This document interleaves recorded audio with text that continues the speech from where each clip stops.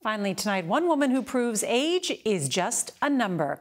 CBS's Steve Hartman goes on the road with a 103 year old lobster woman who shows no signs of stopping. Max Oliver is an old salt, but to his crewmate on this lobster boat, Max is but a child. Her child. As we first reported a couple years ago, then 101 year old Virginia Oliver was Maine's oldest lobster fisherman. Three days a week, May through November, you could find Virginia out here on Penobscot Bay, tackling one of the most hazardous jobs in the country. Have they ever gotten you? Of course. Once she got cut so badly, she needed seven stitches. And the doctor said to me, What are you out there lobstering for? Good question. And I said, Because I want to. I think he might have thought that was a little too dangerous for somebody of your age. I don't care what he thought. Well, clearly. Yeah. Virginia had been lobstering on and off since the age of seven. She used to go out with her father. It was man's work then, not another girl in sight. But nine decades later, she was the master of the sea. After Max hauled in the traps, Virginia measured the lobsters, Don't go on. tossed out the small ones, Gonna throw it away. and then tamed the claws of the keepers. Who's the boss out there? I am. she don't give up. What would she say if you said, I'm ready to retire? You better have something wrong with you. You better have something wrong with you. It's been two years since our visit, and I'm happy to report that almost nothing has changed. Later this month, at the age of 103, Virginia will begin her 95th lobstering season. There's a children's book now, and she's gained some celebrity, but Virginia remains the same humble lobster woman with the same retirement plan. When I die. When you die. Yeah. In other words, no time soon. Steve Hartman, on the road in Rockland, Maine. Finally, tonight, Harvard Law School is considered to be one of the most prestigious academic institutions in the world. CBS's Steve Hartman introduces us to one of its newest graduates on the road. No one has ever attended Harvard Law School for its sparkling glass doors or smudge free countertops. In fact, support staff here say most students never even notice their efforts, with one remarkable exception. he says, just want to give you a hug and, you know, say hi to you. They say one day this one student started thanking all of them. Thank you for what you do. And this is something very different. I'm like, what is this kid's angle? Food service worker Brione Merchant was skeptical. Before that, but once I heard his background, that's when it just all made sense. I'm like, oh, you see us because you're one of us. Mm-hmm. For sure. That student is Rehan Staten. Before coming to Harvard Law, he worked in sanitation. My job was to refurbish the dumpsters. I've heard people literally point to me and point to my coworker and say, like, don't be like them. I think it just reminds me to stay humble and um, just remember I wasn't always standing here. Today, Rehan has not only maintained his humility, he has multiplied it. Earlier this year, Rehan started a nonprofit called the Reciprocity Effect. Its mission? To guarantee that from now on and forever, the support staff here at Harvard Law would not only be seen, they would be celebrated. This was the first support staff awards banquet, honoring in Oscar like fashion the custodians and cafeteria workers and everyone else who makes this place possible. The feeling of knowing that you are appreciated will always go a long way, especially for those who don't know that. I think that's what makes what Rehan did so special is because you didn't even realize how unseen you were until you were seen. And then all of a sudden you're like, oh, this is kind of nice. Rehan Staten. In the coming days, a lot of graduates will stand high on a stage, a great vantage point to finally see all the people who lifted them there. Steve Hartman on the road in Cambridge, Massachusetts. Finally, tonight, sometimes the smallest gestures can have the biggest impact on someone else's life. CBS's Steve Hartman found such a story on the road. A few years ago, Melody Morrow of New York City hurt her foot and needed physical therapy. But she says what really made her feel better was paying the bills. You asked for a receipt, Correct, and it comes in the mail. correct. And what was special about it? On the envelope, on the front of the envelope, it had these little music notes. Her name is Melody, but this is a big health system. Personal touches on billing statements aren't typically their thing. And then it began.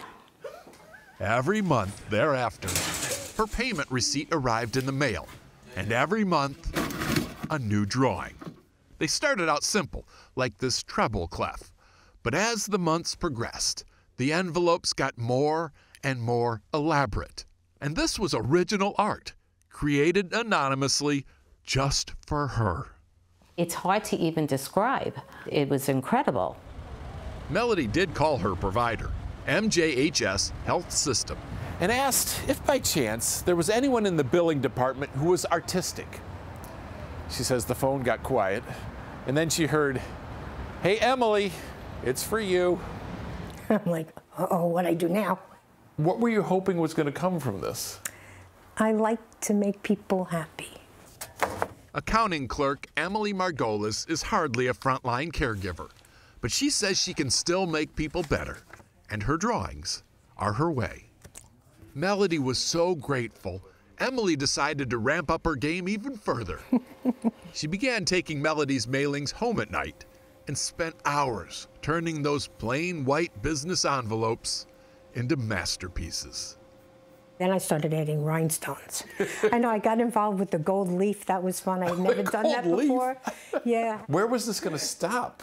I, I know how much she had left to pay.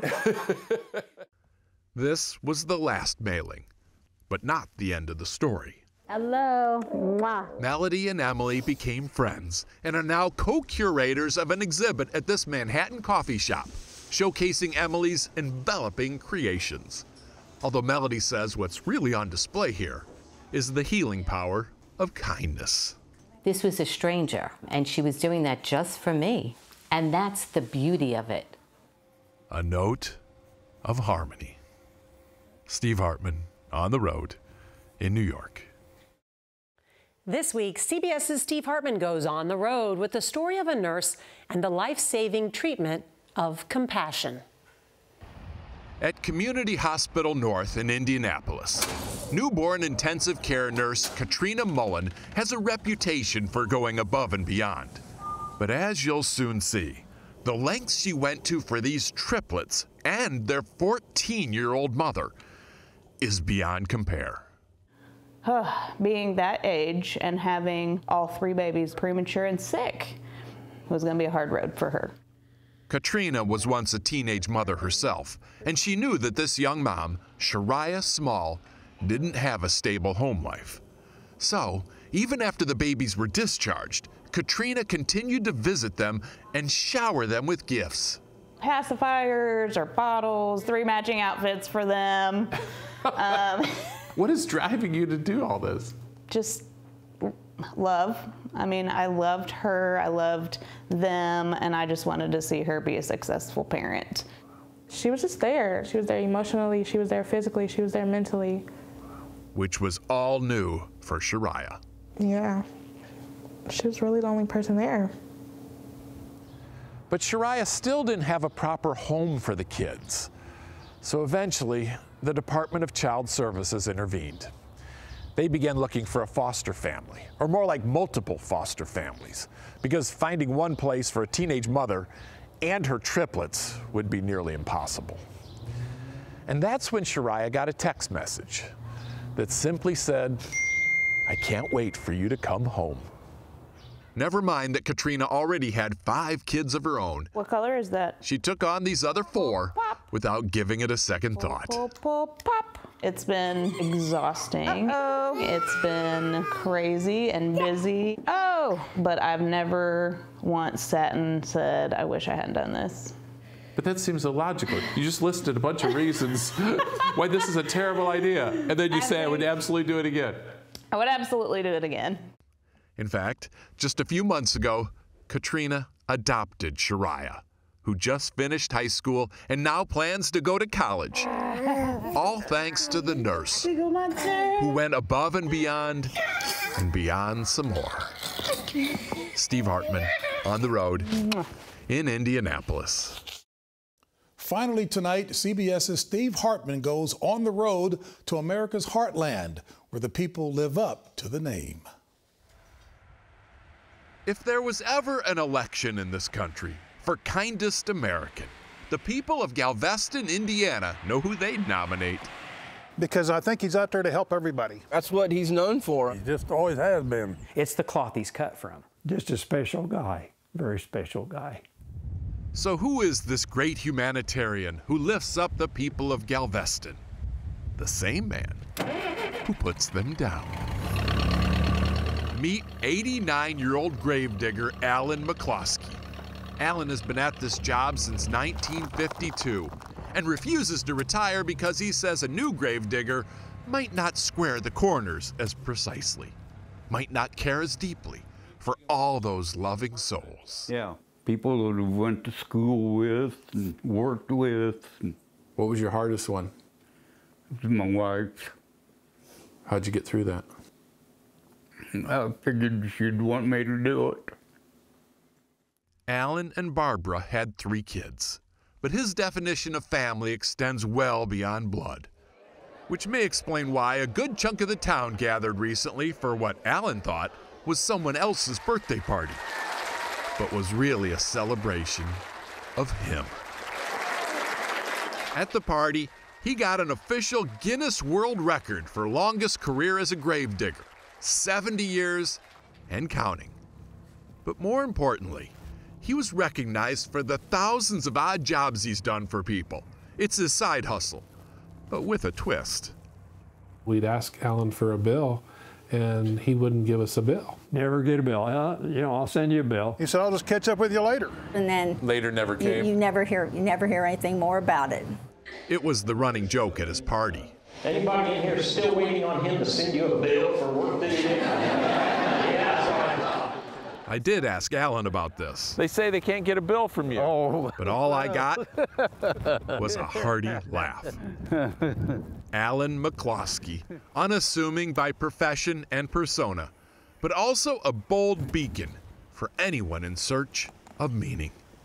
Alan has figured out what life is about. It's not the money that makes him happy. I truly believe Alan has figured out where enough is at. He's found enough. And strange thing about finding enough, you often end up with more than enough. Steve Hartman on the road in Galveston, Indiana. CBS's Steve Hartman heads to New England for a real life Queen's Gambit on the road. The students at Weatherbee Elementary in Hampden, Maine seem peaceful enough, but start a war on this turf. And these rookies, with their night moves, become a royal pawn in the chess to anyone who dares try to dethrone their king. Which is how they became the new Maine State Chess Champions. It was so like exciting. Everybody was cheering. Just like feels like you could fly. A special, like one in a million. In fact, the only thing more unlikely than their success is where they found it. Here, in the broom closet. School custodian David Bishop used to play chess as a kid. So when, years later, he found himself cleaning the hall outside the Weatherbee Chess Club, he says he felt drawn, like he had to be part of it. And at the time, I, I didn't really have any thought of how to teach. I'd never done that before. I didn't really think he had a good background like for doing it, but he obviously does. His name is Mr. Bishop, which is pretty cool. He took over, And and here we are. Five minute game. where they are is a community of intensely focused little minds who play like a real kingdom is at stake. What happens is, yes, there's an attack here. And although no one here is a master, The king's coming out way too early. Mr. Bishop has convinced every last one of them that they have the potential. What I tell them is, if you love it, you're going to be better than the top player we have. They say, no, that can't be. Yes, if you love it, you'll never give up, and you're going to get better and better. as the months and years go by. Sometimes we make the mistake of thinking our job descriptions are a box, confining who we are and what we do. But David Bishop sees it differently. He says when they told him to make this school shine, they never said how. I found my purpose. Steve Hartman on the road. It's a lesson learned. Near Bangor, Maine. We send our kids to school in hopes they receive a good education. In this week's On the Road with Steve Hartman, we learned that lessons in kindness are also worth studying. Not long ago, I made a surprise visit to the Alhambra Traditional School in Phoenix. And although I anticipated a warm welcome, I was completely unprepared. Hello, class. For this. I mean, good gosh, it's not like I'm the rock. I'm a lump. But our connection clearly runs deep, thanks to Mr. Derek Brown. As we first reported last month, for more than a decade, Mr. Brown has been showing his fifth graders one of my stories every day. How do you justify it? If nothing else matters math, English, reading, writing nothing matters if the kids aren't grounded and good. Here you go. And to that end, I knew I was going to get a hug. he says the Americans we meet on the road Hug, Gabe. teach character oh, better than he ever could. It's just to make you like a better person. And how's it working? It was working good. It made me more nicer to my little brother. It made you nicer Yeah. to your little brother. Yeah, I mean, I was. I already consider my career a success. Yeah, it is a success. And this isn't just happening in Phoenix.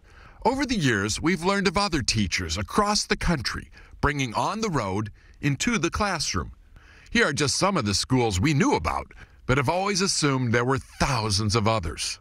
Which is why, to bring them all together, to share lesson plans and strategies, we started a Facebook group called Kindness 101 for Teachers. And so far, more than 30,000 teachers have joined, creating a mini movement. But there's always room for more. So if you know a teacher who might be interested, Mr. Brown says, please tell them about it. They have to let their kids see this. Kids have to connect to these. My stomach hurts, Mr. Brown. No, it doesn't. You- You're feeling. Lights, please. And when that happens, he says the possibility opens wide for kids to go from watching goodness to emulating it.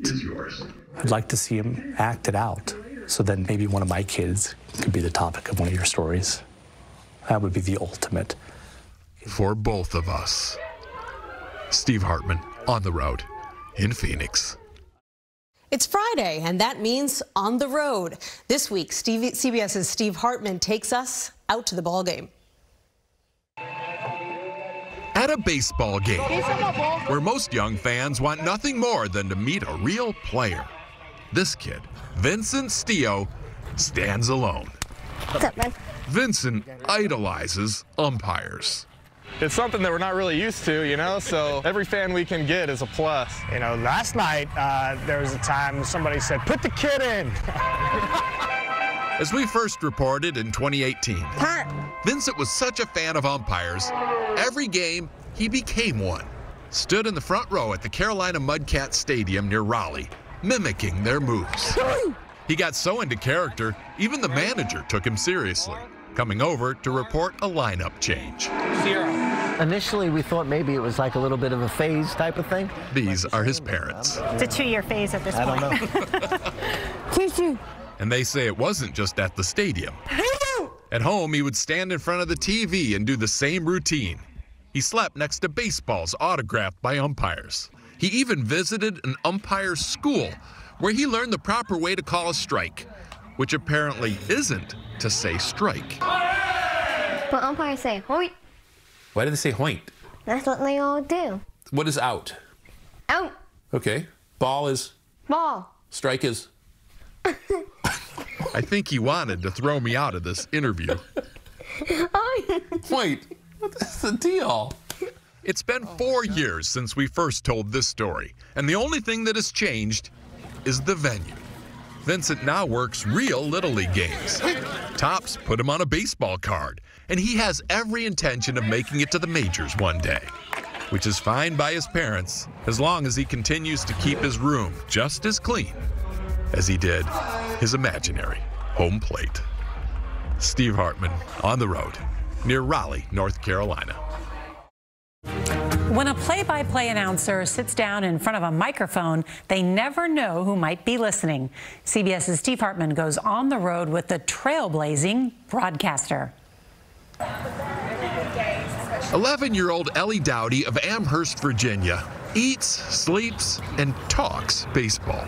Now up the bat. She announces for her local junior varsity team and practices big league broadcasting from her living room. Look at his blocking skills. But she didn't know girls could do this as a career until she listened to a Baltimore Orioles game. Now there's two outs.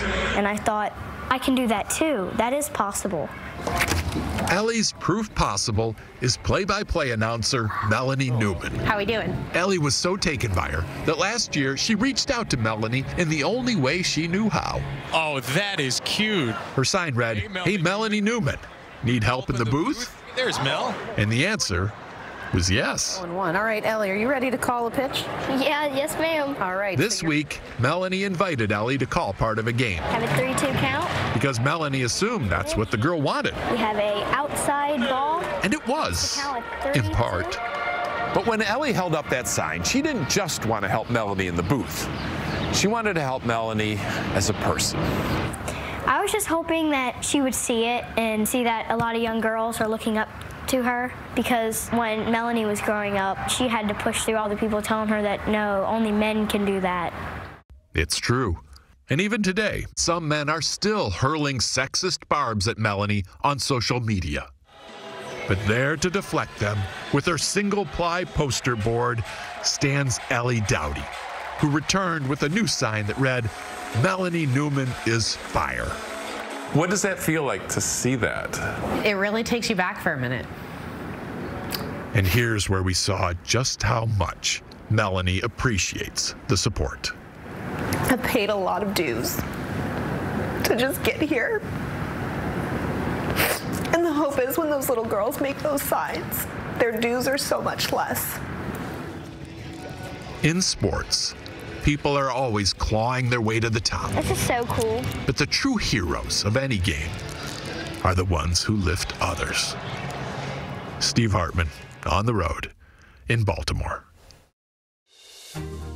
You've heard the phrase, don't judge a book by its cover. It might as well describe the man in our next story. He's a carpet cleaner by day, but it's his hobby that has people talking. Here's CBS's Steve Hartman on the road. 46 year old Vaughn Smith of Gaithersburg, Maryland, was reluctant to even do this story. It's not something that's like, oh yeah, I'm the best. That's not what it's about. In fact, most people didn't even know you had this skill. Correct. You were just the guy cleaning the carpets. I was just the guy cleaning the carpets, yeah. Although a carpet cleaner by trade, Vaughn's real gift is for words. He is what linguists call a hyperpolyglot, defined as a person who can speak at least 11 languages. As someone who took four years of French in high school and only remembers un poquito, the idea that anyone could speak 11 languages is unfathomable. But Vaughn doesn't just know 11. As the Washington Post recently verified, he is fluent in or has a basic grasp of all these languages. Spanish, Italian, Portuguese. This may take a while. I speak some Hungarian. I speak Finnish pretty well. I speak some Estonian. He also knows Welsh, Norwegian, Japanese, Hebrew, and even American Sign Language. That I had. Vaughn studies mostly with apps and books, uploading new words and phrases with almost fiber optic speed. So far, he has learned about 40 languages. Do people immediately like you more when you speak their language? Most of the time, yes. Is that part of the draw for you? Yes. Although never diagnosed, Vaughn suspects, and his mother Sandra agrees, that he is probably autistic. Oh, yes, that was the problem. He had lack of participation, lack of communication. Not able to express my feelings properly or misinterpreting other people's feelings or intentions. But over the years, Vaughn has learned that when you make the effort to speak to someone in their native tongue, people are so grateful friendships often follow. It's about being able to connect with people. It's so good. And you don't need to know any languages to understand the importance of that. Your napod, your estate. Steve Hartman on the road in Gaithersburg, Maryland. Mm.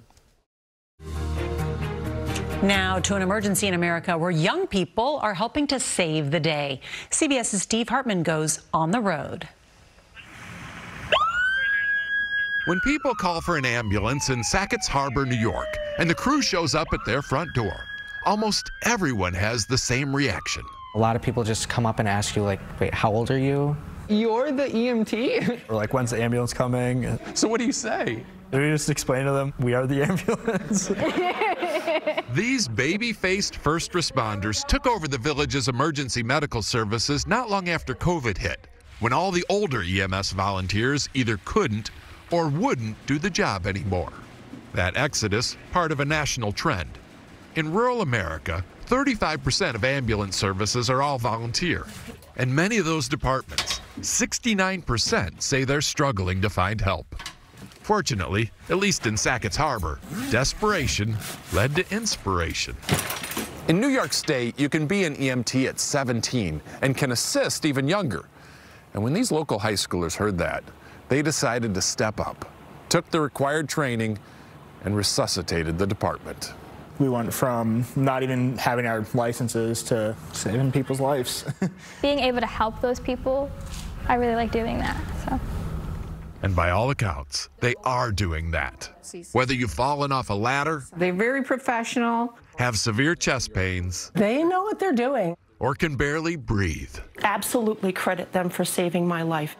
this group of teens and young adults save the day almost every day, sacrificing much of their free time and surrendering some of their innocence. They say the hardest part is telling people their loved one is gone.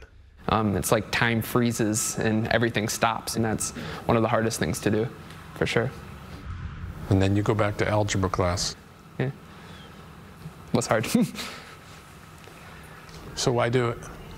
Because who else is there to do it if we don't? Someone needs to. Someone needs to step up and do it. American youth to the rescue once more. Steve Hartman on the road in Sackets Harbor, New York. Nowhere is America's labor shortage more apparent and the solution more unique than at the general store CBS's Steve Hartman found on the road. Here in Norwich, Vermont, for more than a century, this general store has been as much a fixture in the community as the church steeple. But then that sign went up, screaming a desperate need in neon orange, a warning sign of an end approaching. Dan Fraser is the owner of Dan and Whit's. How many openings did you have? All of them. All of them. Yeah. It was like, we're going to have to lock the front door because we have zero help. This was your dad's business. This was your grandfather's business. Right. And it was going to close on your watch? Yeah, which would be tough when you've invested your whole life into it. Customers were equally devastated. Of course, that happens whenever a small town loses an iconic business. But what sets this place apart is that these customers didn't just give Dan their sympathies, they gave him their applications. I'm so excited to have you here. Well, it's so nice to be here. So This retired finance director applied for a job in the deli. There we go. Dr. Rick Farrell is working checkout. I'm just trying to get the cash register to work. People from all over town and all walks of life Sign in. punched in to help Dan stay open. There I am. I'm a therapist, teacher, second grade teacher, Professor of psychology, principal of the middle school. I'm an RN. So far, nearly two dozen customers, like Diane Miller, have stepped up. because Dan and Whit's is the heartbeat of this community. It's the heart of our town. For some reason, The heart of the town. I really got this sense. It's the heart of this town. that Dan and his store are the heart of the town. And as if stocking shelves and running register weren't enough, virtually all of these new hires are donating their hourly wage to some of Dan's favorite charities. Dan says this has all been just the help he needed. Absolutely. Um, the fact that the community stepped up, you know, I mean, sometimes it takes sort of a crisis, if you will, to appreciate what you have. How are you? And in Norwich, they have what every town needs more than anything Thank you. each other. Steve Hartman on the road in Norwich, Vermont. For some, service is a lifetime commitment. CBS's Steve Hartman with a case in point on the road. If anyone has earned a coffee break, it's 63 year old Mike Mason of Midlothian, Virginia. Mike served his country, first as a captain in the Marines, Mike Mason from the FBI. and later as the number four man at the FBI. Good afternoon. Mike left the Bureau in 2007, went on to work as an executive at a Fortune 500 company, and then the chief operating officer of this rocking chair. But Mike says retirement did not sit well with him.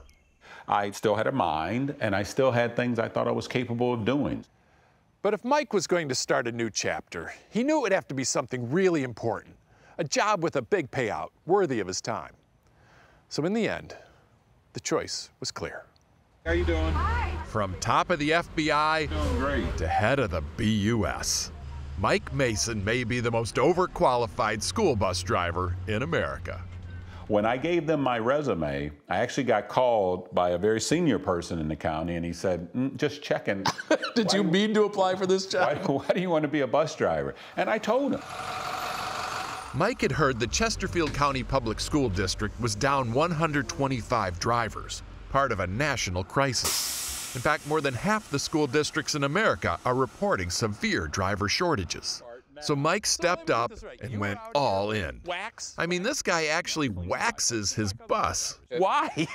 Because I it's just how I roll. This is the Marines coming back. It is. But I think this is important work. I do. Do you sincerely believe that what you're doing today is as important as what you were doing at the FBI? I do. I think in, in our society, we need to get next to the idea that there are no unimportant jobs. I mean, what could be more important than the attention we pay to our education system? So you continue to advance in your career? That's exactly right. I'm paid a lot less, but I, I continue to advance in my career. Yes, indeed. As for the salary, Mike says he already donated all of what he expects to make this year more than $30,000 to various charities. But of course, the much bigger gift is far less tangible. Mike Mason had climbed to the highest level, According to the indictment, but by stepping back down to the bottom rung, he is giving us the greatest leadership of all leadership by example. All right, see you later. Steve Hartman on the road in Midlothian, Virginia. Nearly a month after Hurricane Ida slammed Louisiana, about 13,000 homes and businesses are still in the dark. Tonight, CBS's Steve Hartman is on the road with volunteers who are casting the light of kindness. After Hurricane Ida, linemen from across the country came here to southern Louisiana to restore power and found an angel in the flood.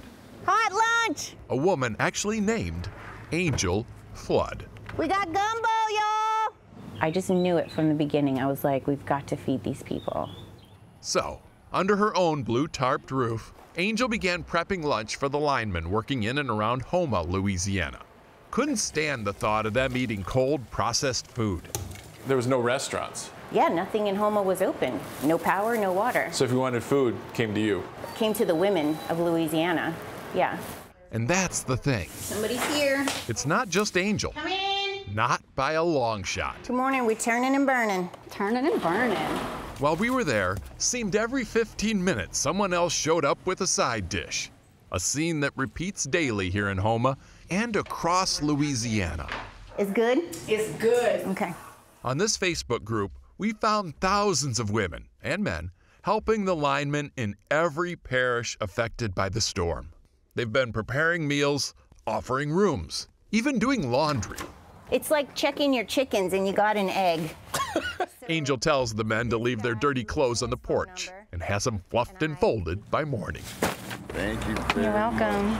For linemen like Jared Colley of Winter Garden, Florida, Gumbo, this treatment is unbelievable. potato salad. They have been an absolute godsend to us. Y'all want drinks? I've been on a lot of storms. I've been doing this for quite some time. We've never been treated this good before. Not like this. That's, that's, Like that's, this. that's pretty cool. But Angel says it's the least she can do. Keep working hard. These guys put in 16 hour days, seven days a week, away from their families. We love y'all. And in talking to them, Angel has learned it's rarely about the money, it's about duty. If you're a lineman and you don't take a call to go on storm, is what they call it, it's like being in the Army and turning down deployment. So in Louisiana, they're now recognizing linemen for the heroes that they are.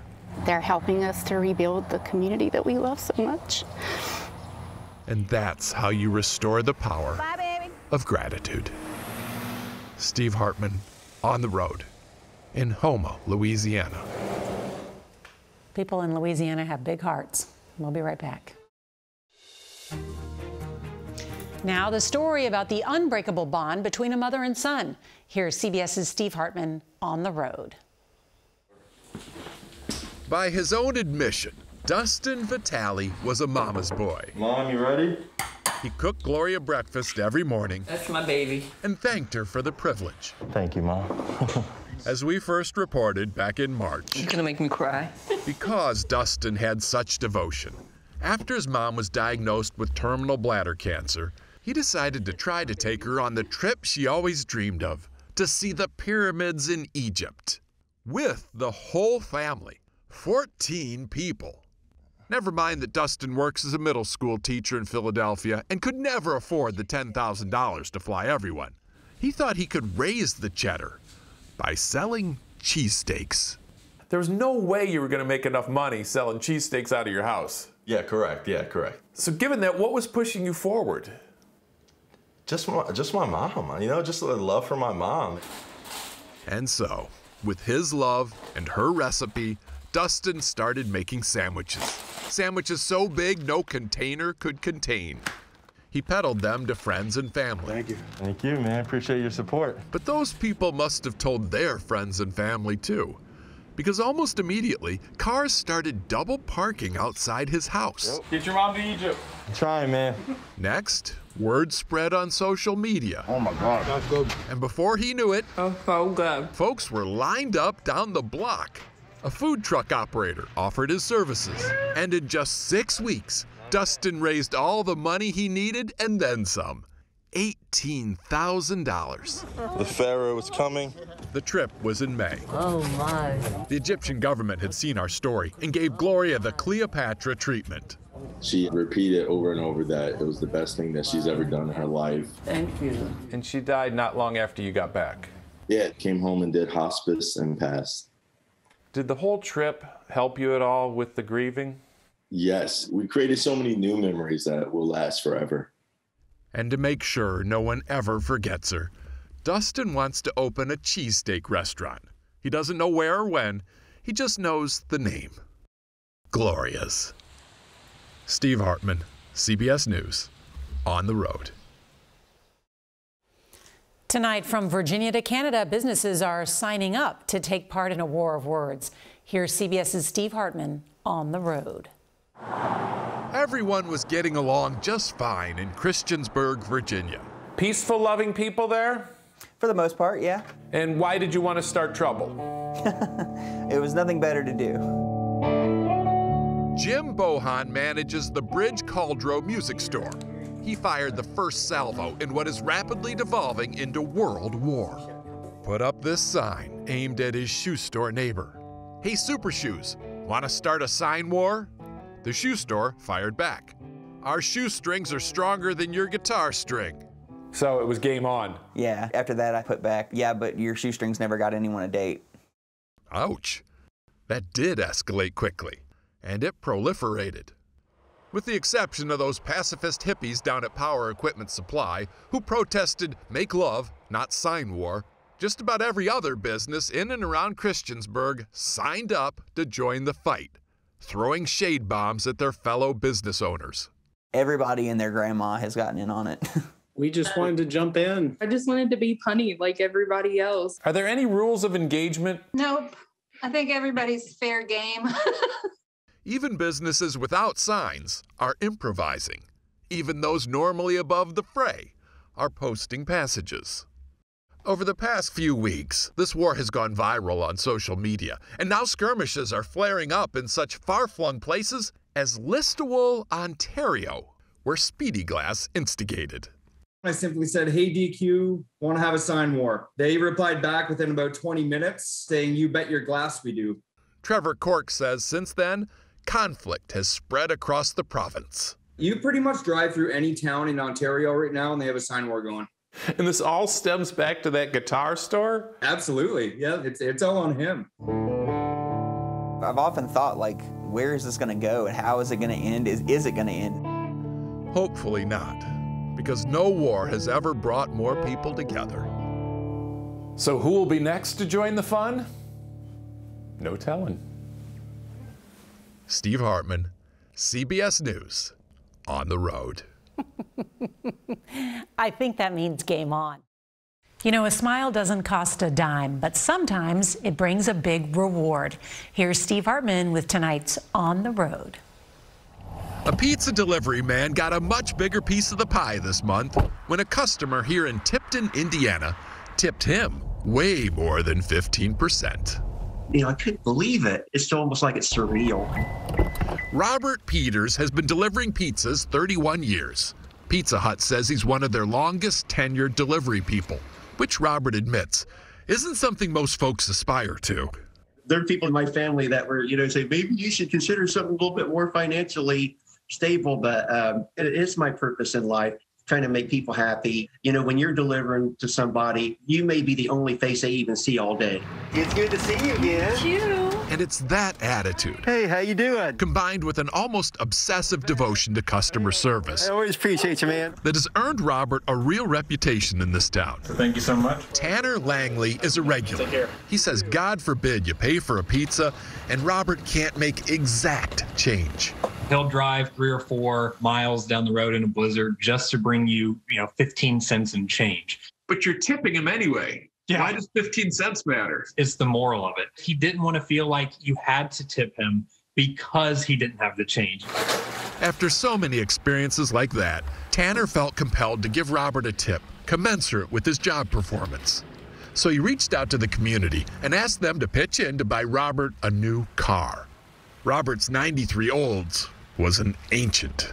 But in just three days, the good people of Tipton donated enough for this. Oh, wow. A shiny red Chevy Malibu, plus insurance and gas money, $19,000 total. Tanner, how do you explain this? That's what I'm saying. That is the type of impact that he has on people. And that really makes me makes me feel really, really good inside. Here are your keys. This week, we got a new president. But Robert proves the most important job in America, in fact, the only job that you know can make the world a better place, is yours. Thank you. You too. Thank you. See you later. Steve Hartman, CBS News, on the road. That is the tip of a lifetime. We can tell you this is apparently the first car that Robert has ever had that was made in the 21st century. Remember, that's American kindness. As painful as 2020 was, CBS's Steve Hartman shared stories that gave us hope. Tonight, Steve's back on the road to revisit a favorite. Any electrician can flip a switch, but only John Kinney of Woburn, Massachusetts can make a customer light up. Like this. Please don't pinch me because I don't want to wake up. Yeah. That's one fine electrician. Oh, a thousand times over. As we first reported a few months ago, it all started when 73 year old Gloria Scott called John to fix a ceiling light. But he soon discovered that broken light was the least of her problems. Too poor to make any house repairs and too prideful to ask for help, Gloria's house was in total disrepair. no lights, no running water. Yeah, I think I seen on a Friday, and it stuck with me over the weekend. I said I got to go back there, you know. So John returned and started working for free. He also started a Facebook page titled Nice Old Lady Needs Help, where he called on other tradespeople to join him. On the Facebook page, you said, it's not like we're trying to rebuild her whole house. yeah, well now it looks like we are. It sure does. this whole porch is gonna get rebuilt. You can see up there, that's where like a lot of the raccoons and stuff were getting in. They spent months putting in all new electrical, all new plumbing, New windows and walls and ceilings. Almost everything got repaired or replaced, from the backyard lawn to the front porch steps. Wow. It's what you're supposed to do. It's what you're supposed to do. Seems the whole town of Woburn has bought into that mantra. Come on. And as a result, today, the old eyesore is a sight for sore eyes. All her blight replaced with pure delight. I can't even comprehend the gratitude that I have. John is equally speechless. Yep. It's just, there's no words for it, you know? It's not going to end with this house, though, either, is it? I don't want it to, and that's why we put a name to it, the Glorious Gladiators, and we want to keep going with this. John is now setting up chapters of Glorious Gladiators across the country, helping seniors in similar situations. Seniors like Gloria Scott, who had a broken light but now shines brightly thanks to an electrician hardwired for kindness. Steve Hartman, on the road in Woburn, Massachusetts. At the end of a heartbreaking week, Steve Hartman has a story that gives us what we need most hope. Here's tonight's On the Road. For ICU nurse Caitlin Obrock, the last year has been a blur. She has treated hundreds of COVID patients here at Barnes Jewish Hospital in St. Louis. But she says one patient stands above. Um, from the very beginning, Monique was special to me. 28 year old Monique Jones came to the hospital deathly ill from COVID and six months pregnant. The baby was priority over her. She would do anything for her baby. Eventually, Monique had to be intubated, but Caitlin still talked to her, prayed over her, countless hours. And when doctors decided the only hope for mother and child was an emergency C section, Caitlin made a promise. And I was like, if Monique makes it, we're going to throw her the biggest baby shower there is to have. A promise she joyfully kept when Zamira arrived. All two pounds, five ounces of her. I just started crying as soon as I saw everything. Like, this couldn't be for me. Caitlin raised thousands of dollars from friends, family, and coworkers. And even though her favorite patients are now out of the hospital, oh my God, Caitlin still visits regularly. Getting so big. Has to. She's the godmother and Monique's new best friend. I never really felt that special to somebody. I really needed somebody like her. It's important, especially at the end of this god awful week, to know that while all this was happening, so was this. While chaos reigned in Washington, compassion ruled in this corner of the heartland and across the country. Because the soul of America can't be ransacked. And the solution to what ails us, sure as heck, isn't under a dome. It's not a matter of politics, it's just a matter of loving people. It's what we need. Um, the days that I feel like I can't go anymore, through those hard days when I don't think my patient's gonna make it, um, that I just know there's another Monique that needs us. And there's your battle cry, America, for a real uprising. Steve Hartman, CBS News, on the road. You just never know where Secret Santa will show up or who he might be helping. This Christmas, Santa's delivering holiday cheer to essential workers with an assist from CBS's Steve Hartman. Here is tonight's On the Road. For a brief moment, I felt bad for Kimberly Davis. Not because she has to clean a COVID ward. She loves her job at Houston Methodist. I felt bad for Kimberly because I lied to Kimberly. They told you I was doing a story about essential workers, right? Correct. Uh, we're not doing a story about essential workers. Truth be told, Oh. I had to lie to everyone I spoke to for this story. And when they discovered my real intent, I'm sorry, I'm at, I'm at a loss. Um. most were speechless, Oh wow. lips a quiver, many in tears. My partner in this joyful deception was an anonymous wealthy businessman known to me only as Secret Santa.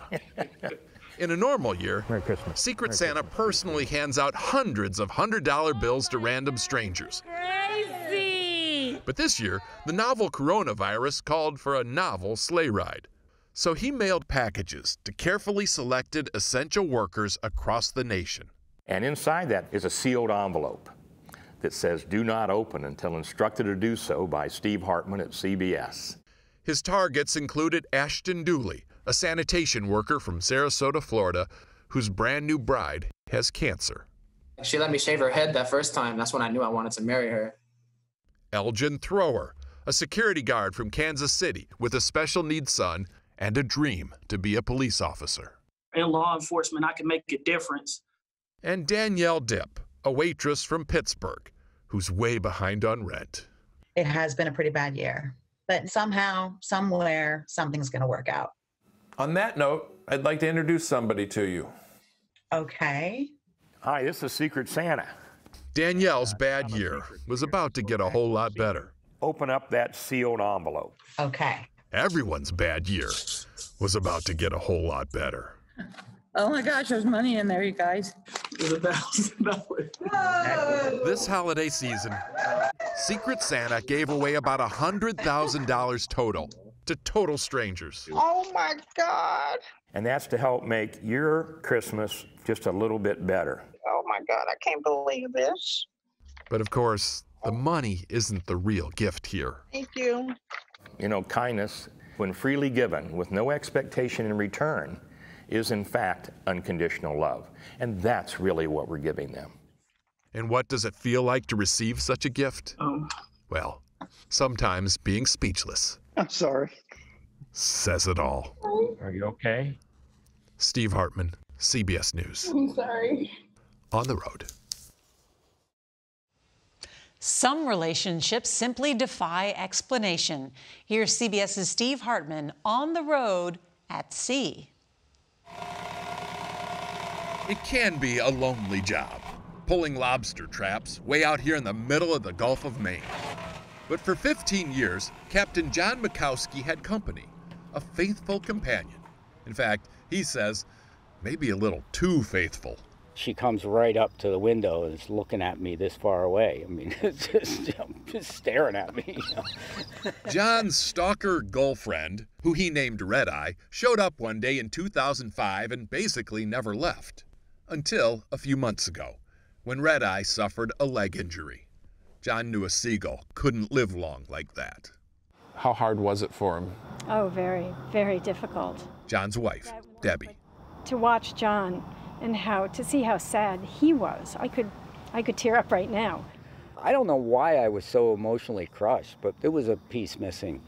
I was beginning to wonder how much longer I felt like doing this.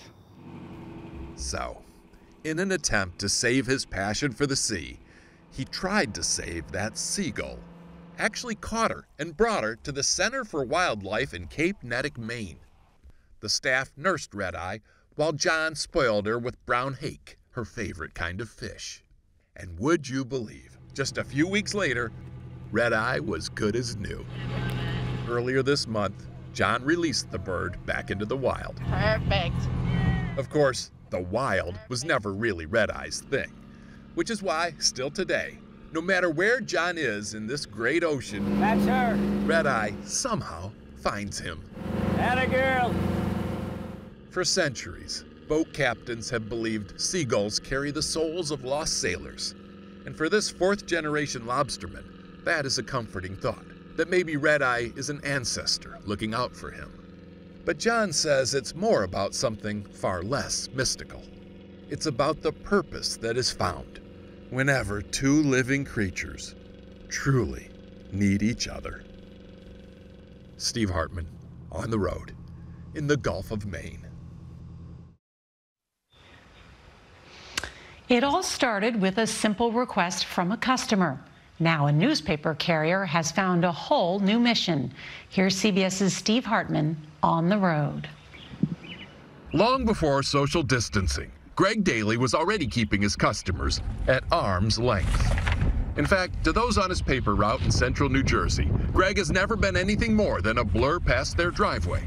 But, as we first reported in April, all that changed when one elderly customer asked him a simple favor. Could he please pull in and throw the paper closer to the garage? It hit me that if she can't get the paper at the sidewalk, which is 20 feet from the house, in this pandemic, how is she going to get the things she needs? So a couple of days later, I just decided, you know what, I- I'm going to put this note out. The note. stuck in the next day's edition, said, My name is Greg Daly, and I deliver your newspaper every morning, which was news to most people. I would like to offer my services, free of charge, to anyone who needs groceries. It'll be, it'll be From that moment to this, tomorrow, okay? the phone has been ringing off the hook. Inundated. He takes the orders, does the shopping, and delivers the groceries, not by whipping them out the window, but by carefully placing them on the porch. How are you? And boy, are people grateful. Step back and I'll put them in the house for you. Eileen Stein is 85 and recently widowed. I don't have enough adjectives. He is one of the finest people in the world. The lady at this house went even further, called him the closest thing to God. There's a level of appreciation here, Steve, that goes above and beyond anything I've ever seen. But no, I'm not going to stop. Well, you'll stop when this is done. I, Greg said, not necessarily. there's something about being able to do something really nice for people. And sure enough, since this story first aired, Greg has expanded his mission. About 130 seniors are now on his grocery route. It's my pleasure. He's also added about a dozen volunteers, mostly college students, who assist with the shopping. And he has plans to do still more. Okay. Greg Daly was called to duty by circumstance, but he's staying in service by choice. Have a great day, all right? Steve Hartman, CBS News, on the road. There is simply no way to fully repay the medical workers on the front line of the pandemic. But CBS's Steve Hartman found someone who's saying thank you in his own way. Here's tonight's On the Road. When Steve Derrick of Clifton Park, New York, paints a portrait, there's no such thing as a touch up. He includes every bruise, bag, and blood vessel. You're not capturing them at their best moment. I, I, I think I am. Oh, interesting. That's when they're strongest, not when everything's rainbows and butterflies behind them. Indeed, the only thing his subjects have behind them is a 12 hour hospital shift. In the paintings, you see the marks from the masks, the fight in their eyes, and the admiration the artist has for all of them. When this pandemic began, Steve says he wanted to do something as a thank you to those on the front lines. So the amateur artist spent hours in his basement painting tributes to these warriors. So far, he's done about 100 portraits, many nurses here at Albany Medical Center in Albany, New York. And although Steve refuses payment of any kind, he says he's gotten very rich in another way. Right here, it's just that's the payment. That's the reason I do it. I, Wealth beyond words. Yeah. Steve says he has been overwhelmed by the impact his paintings have had on his subjects, like Albany Med ER nurse Michelle Hanna. You know, it doesn't make me look glamorous by any stretch of the imagination, but it makes me look like who and what I am and what I was doing. Michelle recently stopped by to meet Steve and check out an exhibit of his work at the Albany Center Gallery. These are amazing. Uh, she was deeply moved by the art, It's the most beautiful thing anybody's ever done for me. but even more so Sorry. by the artist and his large scale generosity. Steve will now be giving away every portrait to the person in it, a forever mirror reflecting that time in their lives when they were at their most beautiful. Yeah. Steve Hartman on the road in Albany, New York. Every day, we are in awe of our healthcare heroes risking their lives, including the woman you're about to meet. Here's Steve Hartman with tonight's On the Road. We begin today with an alarming new milestone. As the misery spreads, spreading, spreading quickly. most of us are relieved to be watching the worst of it from the safety of our sofas. Deadly record. 47 year old Bevan Strickland of High Point, North Carolina, was one of those comfortably on the couch. But some switch flipped in you. Yeah, it was kind of a switch. That's funny that you say that because I was like, wait a minute, why am I sitting here? Bevan, a nurse, had just contracted a serious case of empathy. I could imagine the nurses being so exhausted, so stressed out. If I can just go and relieve a shift for them. Totally crazy right now. That was a month ago. And today, Bevan is working at Mount Sinai, Queens, the epicenter of the outbreak in New York City. She cares for the sickest patients under the most demanding conditions, solely because she believes she was made for a moment like this. Uh, I'm not afraid. I'm not easily uh, shaken by things. I was in a bank robbery. I was held at gunpoint. I was tied up for 15 minutes. Um, he was tying me up, and I said, I said, "Are we on candid camera?" And you know, I wanted to make him laugh. I figured I'll make myself human to him, and then he won't want to kill me. It was at that point that I realized this was no ordinary hero. Then I learned that although she's not technically a volunteer, she has to get paid for legal reasons. Bevan plans to donate everything she makes after expenses to the Mount Sinai support staff. And the fact is, she could really use the money. She has student loans, and she's a single mom with twin 16 year old boys back home. Cheers, man. Did she ask you if she could do this, or did she tell you she was doing it? She says multiple times, even Mhm. after saying yes, she's like, "Are you sure you want me to?" And Why did you say yes? This life is life is not to just serve yourself, but to serve others. These apples didn't fall far. I believe it's our duty. I believe we should be compelled to do something when we can. There's a switch that goes off in some people during perilous times. Whether it's the football coach who steps in to stop a school shooter, the NFL player who joins the Army after 9 11, or the nurse who simply stands up from her couch. There will always be those who run toward disaster when everyone else is fleeing. Somebody's got to help. What if we all said we couldn't handle it and we couldn't do it? You know, what if everybody said that? It certainly wouldn't be America. Steve Hartman, CBS News, on the road. And we are so grateful to her and so many others who have answered the call. Steve Hartman's been busy this week, like many of you, teaching and working from home. And there's homework. Here's tonight's On the Road. Uh, here, the sign says Kindness 101 will begin shortly. It wasn't exactly the most polished production. Hey, everybody. This week, with the help of my God given teaching assistants, This isn't a TV studio, right? I held an online class in kindness. Try that word. What is that word? Altruism, I don't know. Okay, looks like altruism. But despite the low budget, we had high turnout. Tens of thousands of kids from across the country tuned in.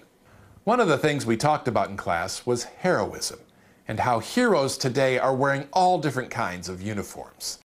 Their assignment for the week was to pick one of these new heroes and thank them in any way they could.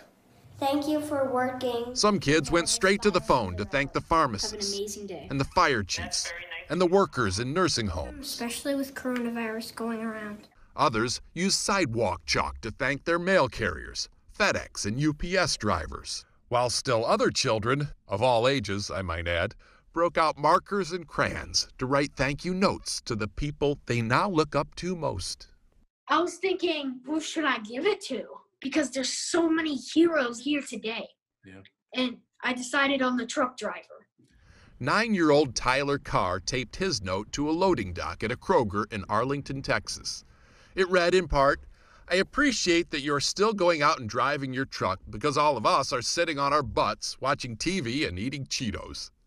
Bailey Killman of Cooper City, Florida, chose to thank her sanitation worker. Using good social distancing, she handed her note to Remy Felizor. Whew, man, she made my day. I was emotional. Remy says he's not used to people thanking him for his service. I can't even forget about that moment. Really? Yes, sir. It was all A plus work.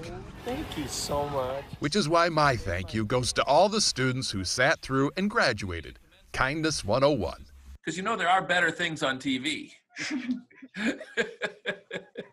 You're being kind by not saying anything. You learned your lesson. yes, I guess I did. Steve Hartman at home in Catskill, New York. That's great. We're all trying to learn something during this coronavirus case crisis. Just saying thank you means so much. The story of David Ayres, the unexpected hockey hero, left Steve Hartman inspired. Inspired to try something crazy. So here's tonight's On the Road. When a former Zamboni driver took to the ice last week as an emergency replacement goaltender and stopped 8 out of 10 shots, he became an overnight sensation. Interviews and autographs, everyone celebrating the average Joe who appeared to be as good as an NHL goalie. But I wondered if maybe the opposite was true, that maybe NHL goalies are no better than the average Joe. To test my theory, I suited up the most average Joe I know, me. Prior to this, the only hockey position I ever played was hockey dad. Got it? My son Emmett signed up for lessons a few months ago, and from my place in the stands, I almost immediately started questioning the goalie position. Is it really as hard as everyone makes it look? Or might a bale of hay perform just as well? So this week, I brought my skepticism to Springfield, Massachusetts, home of the minor league Springfield Thunderbirds. Chris Driedger is their goalie, and like everyone else in America, Chris was amazed that a Zamboni driver could do so well. Can you believe it?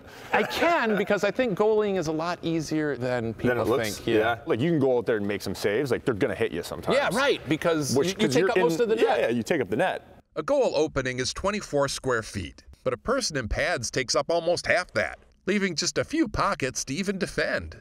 I predict I'm going to block 8 out of 10, just like the Zamboni driver. I drive a car. How different is that than a Zamboni? And with that, it was time to put my lack of skills to the test. My opponent would be no slouch, a prime NHL prospect named Henrik Borgstrom. You think you can score on me every time? I highly think so. Yeah. You can't even hold your stick right. Game on, rink rat. So, is goaltending really that hard? Initial indications seem to be yes. He's kind of slowish. In fact, as our experiment progressed, and the taste of crow filled my senses, that was close. I started to believe that not only is this job hard, I touched it. it may be one of the most impossible in sports. That's cheating. In the end, he made 9 out of 10. You missed. And I made a promise that next time anything looks easy, I'm keeping my big goal shut. Steve Hartman on the road in Springfield, Massachusetts. Of all the stories that Steve Hartman has covered on the road this year, the one that's been shared the most by our viewers is the story of school bus driver Curtis Jenkins. Tonight, Steve has a big surprise. You can see why someone might hate being a school bus driver. The early hours, when the weather sours, the abundance of responsibility combined with the absence of eyes in the back of your head. Y'all have a good day. Nevertheless, as we first reported last May, Curtis Jenkins loves delivering these little ones to Lake Highlands Elementary in Dallas, Texas. Yes. Emily Grunninger is the principal. He goes way beyond the outlined responsibilities and duties of a bus driver. I mean, that bus is like a family. These are my children. These are my community. I love them all. To establish community, What's your job, man? he starts by giving everyone responsibility. This is one of the police officers. It's an elaborate flowchart. She's the administrative assistant to the president. Administrative assistant to Yeah, the she's, president. yeah. Everyone working together to build a yellow bus utopia. Yeah. And we're gonna care about each other and we're gonna love everybody, right? I put time, effort, love, care, understanding, understanding each and every one of those kids. Omar. To show his love and understanding, Hey, Chief. Curtis gives presents throughout the year. You say you like baseball. Each gift personally selected with that child in mind. He gave this girl a t-shirt Her first book. with a picture from a book she made. I'm hoping this T-shirt inspire her to keep on writing books.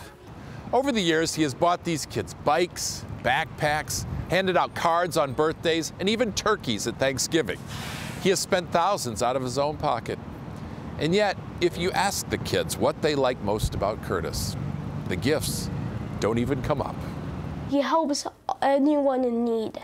Ethan Engel is a sixth grader. It means a lot to you. Yeah. He says the bus ride is often the best part of his day. My mom got divorced when I was only four. See you tomorrow. He's the father that I always wanted. In some ways, I just I wish my dad could have been like that. We make the mistake sometimes of thinking certain jobs are more important than others. I know. But Curtis Jenkins made his job important, and in doing so, even created his own salary. That's the paycheck right there. If I can get that, you can keep the money. He sought no reward, but after our story first aired, the kindness came back to him nonetheless. When an anonymous viewer reached out to school superintendent Jeannie Stone with a little thank you gift for Curtis. You're gonna be driving this brand new car! In addition to the car, she also gave him a promotion. Curtis now teaches others how to have better student relationships. For this old bus driver, 2019 sure proved to be quite a ride. Steve Hartman on the road in Dallas. Finally, tonight, sometimes the best lessons in life are those we learn on the way to school. Here's CBS's Steve Hartman on the road. This may look like a normal family reunion, but as you'll soon see, Reed Moon of Zelienople, Pennsylvania is no ordinary patriarch. Good to see you. And this is no ordinary family. This is Anna Gale. Far from it. Bethany. Here's DJ. Handsome lad. That's a Lewis. How many kids do you have? I'll say 200. Maybe even more. No, they're not biologically my kids. But emotionally, they surely are. That's how attached he is to the students who rode his school bus. A job he held for 27 years, even though it wasn't exactly his first choice. Reed sort of fell into the job. Well, not sort of, he, he did fall into the job. In 1990, he fell off a roof working as a handyman. After that, he wanted a job closer to the ground. But ironically, he says no job has ever lifted him higher. It's his children. And being in a position where you can love kids every single day is a lovely position to be in.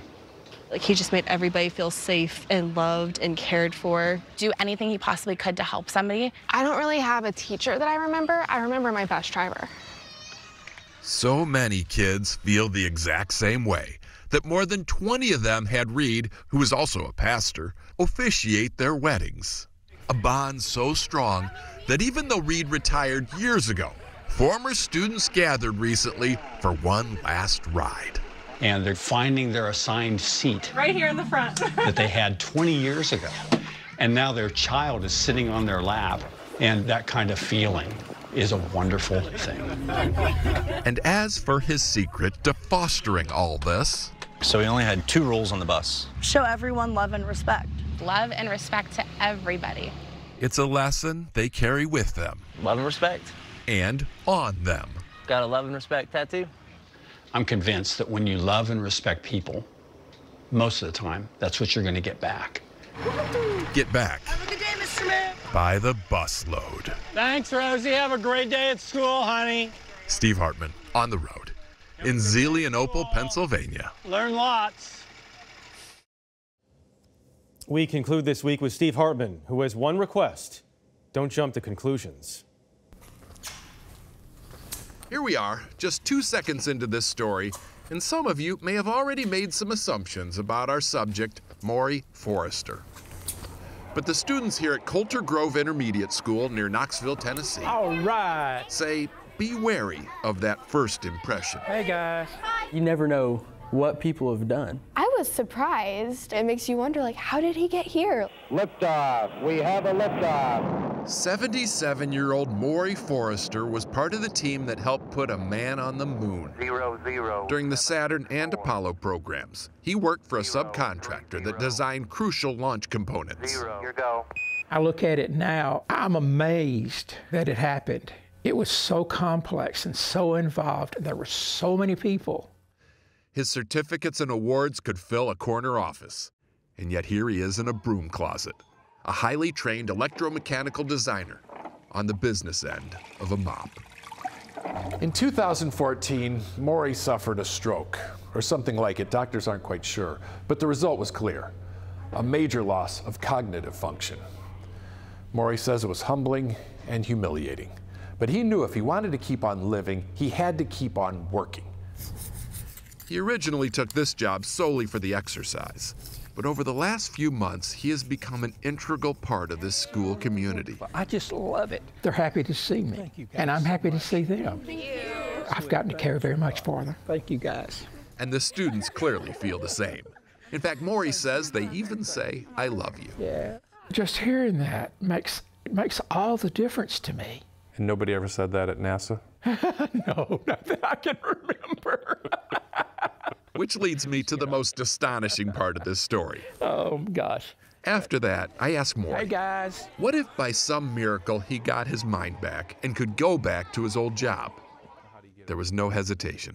Yeah, I can't. I can't say that. I gotta give this up.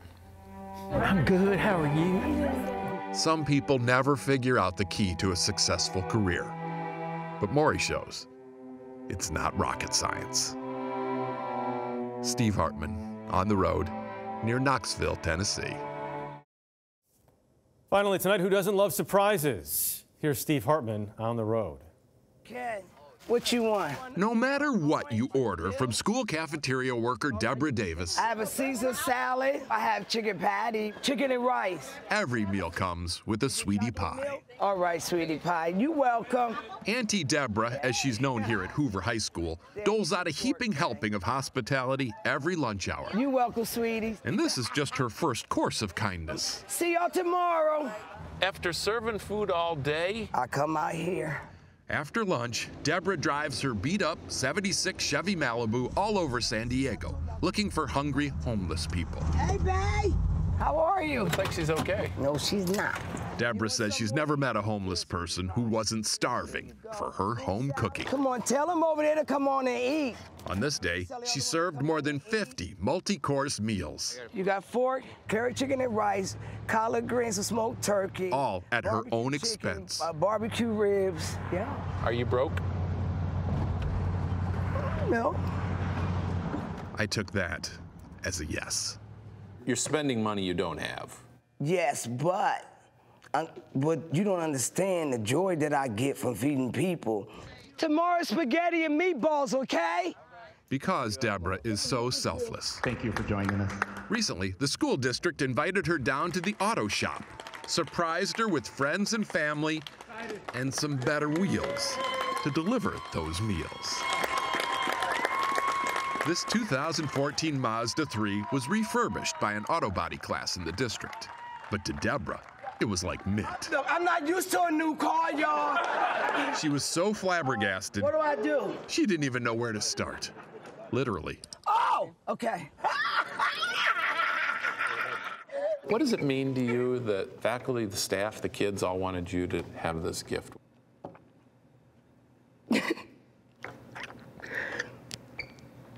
that I'm making a difference in their life, you know? I was looking for my reward in heaven, and y'all gave me a little bit here on earth. Hallelujah. Heaven on earth. For a woman who has always had room in her heart. Yeah. Just now. Look at that. More trunk space. Three aluminum pans this size. Steve Hartman on the road in San Diego. And I got tinted windows. We end the week here in the Pacific Northwest with a story about a man who's willing to do anything for others. Now his neighbors have done something for him. Here's Steve Hartman on the road. The most prominent citizen of Gresham, Oregon, is also the most unlikely businessman.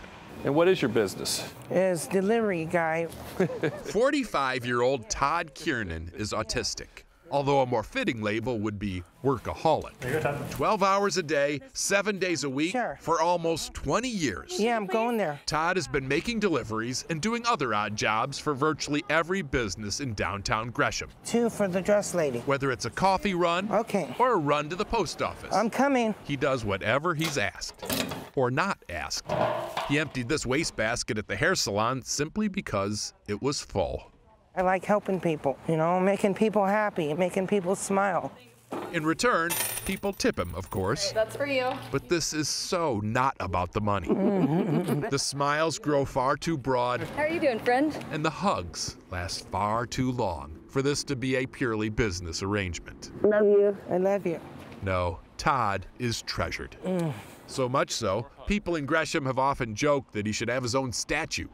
He is one of the kindest, nicest people you'll meet. He's always smiling. He's just a big part of this community. He is the town, basically. Can't imagine downtown Gresham without Todd.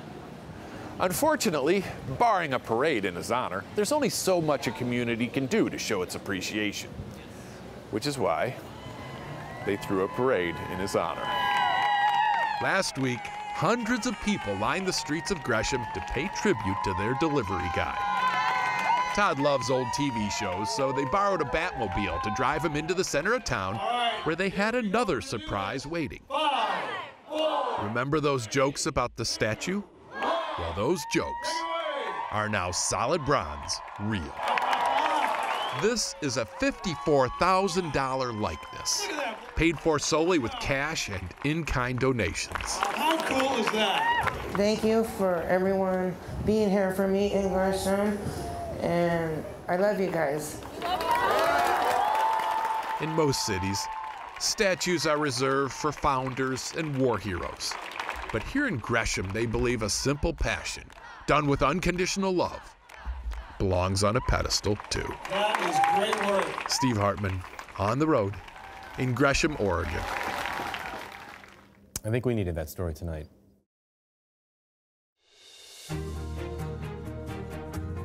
We end the week with Steve Hartman and an auto mechanic whose life took an unexpected turn on the road. I really want to be a doctor when I grow up. Whenever his two little girls play doctor and dream of becoming one someday, Let me take your heartbeat, doctor. 48 year old master mechanic Carl Allamby is flooded with the feeling of deja vu. You wanted to be a doctor? Oh, yeah. But that wasn't realistic. Not where I came from, no. I grew up in East Cleveland, which is a very impoverished city. We were on welfare, and I remember the powdered milk, government powdered milk, and uh, block cheese. And because they were so poor, young Carl quickly set aside his professional aspirations and focused instead on becoming the best auto mechanic he could be. So this was the parts store where I got all my customers from. So you would work on cars in the parking lot of the parts store? Oh yeah, sometimes till one, two o'clock in the morning. Eventually, he got his own shop, and for 15 years he did okay, until one day he decided to ratchet things up. In 2006, Carl enrolled here at Ursuline College. His intention was to get a business degree to help him manage his repair shop. But there was one hurdle a biology class. He couldn't understand why he had to take it, and he put it off as long as possible. I'm a business major. Yeah. What, what do I even care about biology? But I went to class, and in the first hour of being there, I knew what I wanted to do with the rest of my life. All those ideas of wanting to be a doctor just came rushing back. And to make a long story short, the car doctor Dr. Carl Allamby. is now a doctor. Doctor. Daddy, we love you! Last spring, Carl graduated from Northeast Ohio Medical University, and today he's an emergency medicine resident at Cleveland Clinic Akron General. Hey, Miss Fior. By all accounts, Carl is already an exemplary doctor, partly because, according to his supervisors, he worked so long in a garage. That cannot translate. You'd be shocked, actually. I think it's some of the customer service. This is Dr. Rebecca Merrill. But could you imagine right now going and learning auto mechanics? No. but Carl said he'll do our oil changes, so. Fortunately, Carl now has more important repairs on his mind. But this old auto mechanic also knows that whether you're working under a hood or staring down a hatch, Can I have you open up your mouth really wide? your success hinges on your drive. I would hear people say, well, Carl, it's going to take nine years to become a doctor. Yeah. And I'd say, well, nine years are going to pass anyway. So I'd rather be someplace I want to be than someplace that I could have been. And there's the prescription Yeah. for the I can't do it blues. Steve Hartman on the road in Akron, Ohio. We end tonight with a man who says he's nothing special. Well, lots of people disagree. Steve Hartman met him on the road. There is a superhero in Pittsburgh, a mild mannered guy in a funny looking van who goes around town striking happiness in the hearts of hundreds. If I can go out and help people and have them experience what love is just between neighbors, like that's sweet. Where's 270? 29 year old John Potter is a handyman by trade, but he doesn't charge for most of what he does. Do you mind starting it up? Whether it's a pizza delivery guy with no way to deliver, or an electric scooter guy with no way to scoot. Yeah. John is always to the rescue. Um, actually, let's throw it in the back. Like just like a saint, pretty much. He like he's willing to help anybody like, with whatever size problem you have. It might take me a day, honestly. John finds his rescuees on Reddit. People who have a window broken out, or can't afford the roof they need, or maybe just want help moving. John does it all for total strangers. That took a huge brain switch. He started doing this four years ago after a woman approached him at this gas station. And she's like, hey, can I um, get a ride to the battered women's shelter or can I have money for the bus? And your answer? I said, no, sorry. It was a response he regretted almost immediately. Yeah, that haunted me right from the start. John vowed from that day forward he would say yes to anyone who asked for help, no matter what they needed. And so far, he's done about a thousand good deeds. Has he ever been scammed? He doesn't know. And quite frankly, he doesn't care. I give because I want to give, and that's just for me. And if anything, I go to bed and I feel happy. Yeah, come on in. Happy, but not wealthy. Is the check okay? Typically, John has just a few hundred dollars to his name, and yet he continues to give. Sometimes a lot more than just handyman services. Um, would you mind carrying it to the car? After the kidney surgery, I can't lift anything. That's right. John has now moved on to vital organs. It's unbelievable. Last month, Michael Moore, another total stranger, got John's kidney. This is not fixing somebody's scooter. No, it's an unbelievable act of kindness. Michael says the best gift ever, but not only for the obvious reason. Because you find out that there's other people in the world that care, and uh, that's a, that's a strong message. A message that John says is only going to get louder. I really want to give a piece of my liver. Are you joking? No. If the grave is home plate, I want to come sliding into it at this point, you know? Bare minimum organs. I don't know, you might find me on uh, My Strange Addiction, like I'm addicted to giving organs. Addicted to helping others. There are certainly worse vices. Steve Hartman, on the road in Pittsburgh. All of us could use a similar addiction.